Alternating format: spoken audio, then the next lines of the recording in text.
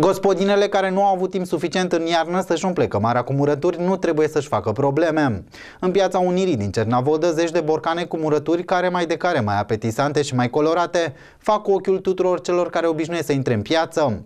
Toate produsele sunt naturale, pregătite după o rețetă bine pusă la punct, prețurile sunt accesibile, iar gospodina care le-a pregătit garantează gustul delicios. Românii n-ar lăsa murăturile din mână pentru nimic în lume. Chiar dacă unele doamne și-au uitat abilitățile de gospodine și nu au mai pregătit borcane cu bunătăți pentru iarnă, expoziția de murături din Piața Unirii din Cernavodă oferă tuturor doritoarelor o gamă variată de gogonele pentru orice buzunar. Vin gospodinele să cumpere. Vin, vin, vin. Am avut, am și o expoziție care are cu uh, castraveți murați în saramură, gogonele, deci asortate am uh, conopidă murată, pepene am avut, uh, am dat.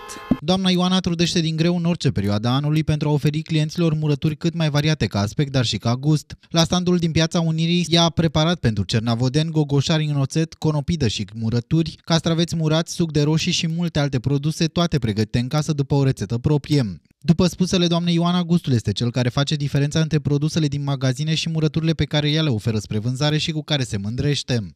Care sunt produsele cele mai căutate? Pe castraveți murați, gogonele și și conopida. Aveți o, rețetă, o rețetă specială după care le puneți? E vreun secret acolo pe care îl știți numai dumneavoastră? Da, la murături am un secret anume care le pun și rezistă și ele să mențin culoarea tot așa, adică sunt tari, sunt frumoase.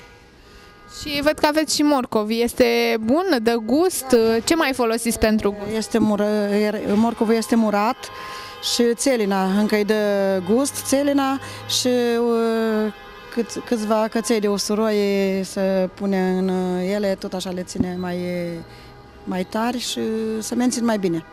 Frunzele sau cozile de mărar se folosesc și acelea pentru... Da, bineînțeles, cozile de mărar eu le-am pus în butoi, fiindcă eu am mai multe în butoi, am pus cozi de mărar, țelină, frunze de țelină, tot așa se pune hrean și apă și sare, saramură, în saramură le-am pus. Prețurile murăturilor sunt accesibile. Acestea variază între 20 și 35 de lei pe borcan. Sortimentele de murături își așteaptă clienții în orice perioadă anului.